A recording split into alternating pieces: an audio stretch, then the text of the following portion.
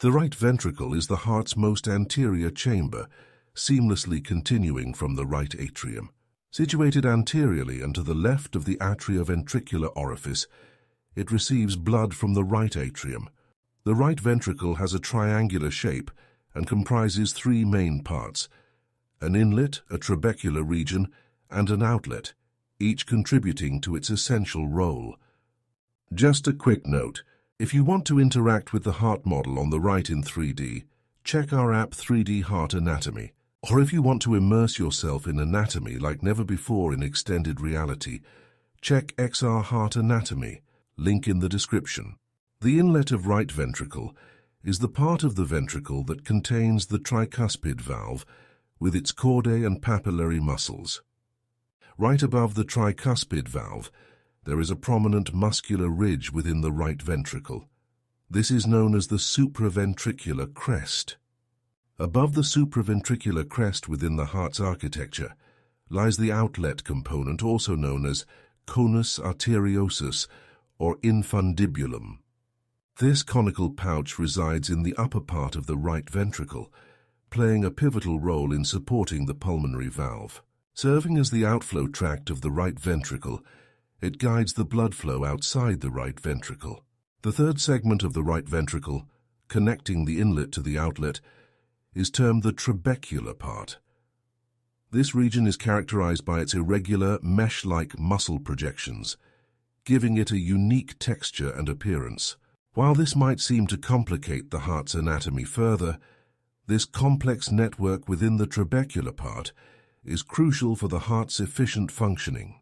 Trabeculations might vary in form. The trabecular part extends to the heart's apex, and its thin walls are reinforced with muscle bands, known as trabeculations. Some trabeculations are anchored along the ventricular walls, forming pronounced ridges.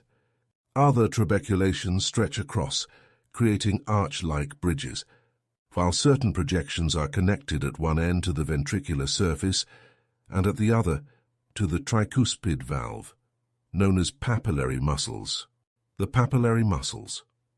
Numbering three, the anterior papillary muscle, the inferior papillary muscle, and the septal papillary muscle, anchor the chordae tendineae, which are crucial for the operation of the right ventricle.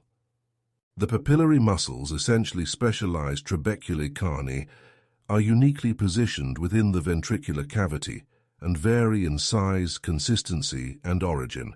The anterior papillary muscle is the largest and most consistent papillary muscle associated with the tricuspid valve. It is supported by a specialized trabeculum and originate from the anterior wall of the ventricle.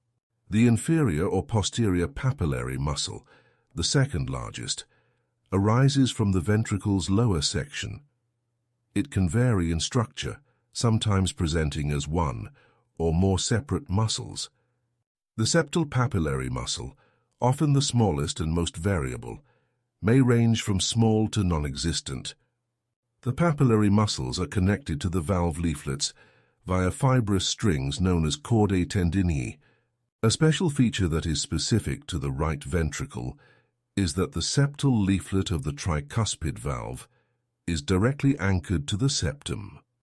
These trabeculae carneae are essential in providing the right ventricle with its rugged appearance, facilitating cardiac function by aiding in the contraction process and contributing significantly to its unique internal structure. Among these trabeculae, the septomarginal trabecula stands out due to its critical role. It is a muscular band that connects the anterior papillary muscle to the interventricular septum. This single specialized trabeculum forms a direct path between the lower portion of the interventricular septum and the base of the anterior papillary muscle. Notably, the septomarginal trabecula carries a portion of the cardiac conduction system.